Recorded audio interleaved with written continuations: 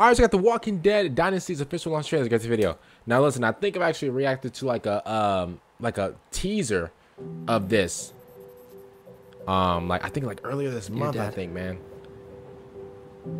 It's hard to remember who we were before all of this.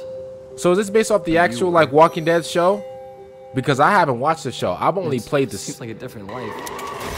I've only played uh, the Telltale the Telltale series with Clementine and When Lee. Mom died. You have to help us. What do we do? Choose stealth. Okay, I've actually seen some Walking like like the show. I've actually seen some Walking Dead characters before, but I just never watched the show before. So the dude with the cowboy hat, I, I, uh, uh, I think I've seen him before. Oh my god, I think I've actually seen him before. And I got a question: Is Michonne in the show and the Telltale series? Everything to change and for everyone to have a real life.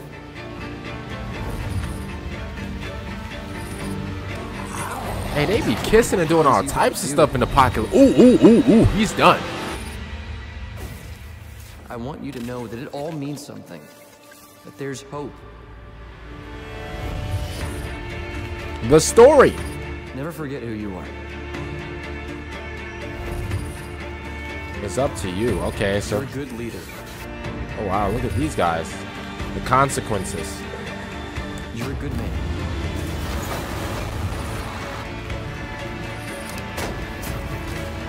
You're Shane Walsh.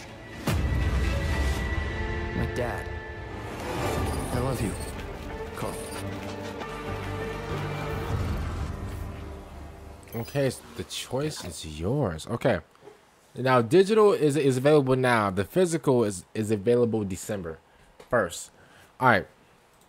So I'm actually interested to see how this is going to be. Um, obviously this is a story mode, uh, type of. Well, I don't know if this is a story mode type of thing because they said the choice is yours, and we all know a lot of choice games. Well, I know that Telltale choice games are, let's just say, yes, you can choose who dies or whatever, but they, they you know, they like to say that the oh the choice is up to you. Da da da da. No, Eh, I mean you can choose like whether who dies, something like that. So let's say like uh in, in the Walking Dead game, in the Walking Dead uh Telltale game, it was um it was between Doug and Carly. You get to like you get to choose in that way. You don't really get to choose like your own path. Like um like Detroit Become Human. How in Detroit Become Human, bro, there are literally if you go into like the little into like the little chart that you see like all the choices, bro, there's like 10, 10 different outcomes, bro. And then in those 10 outcomes, there's like five different outcomes on one little branch. It like, bro, this is like okay, in that game, you really get to choose, okay,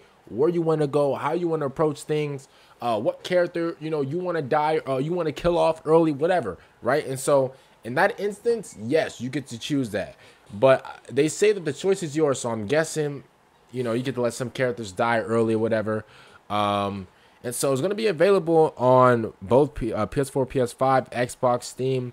Uh, it's going to be available on, on Nintendo Switch. So it- it's going to drop everywhere. I'm just curious, like, just to see like how is this game going to look. That's my thing.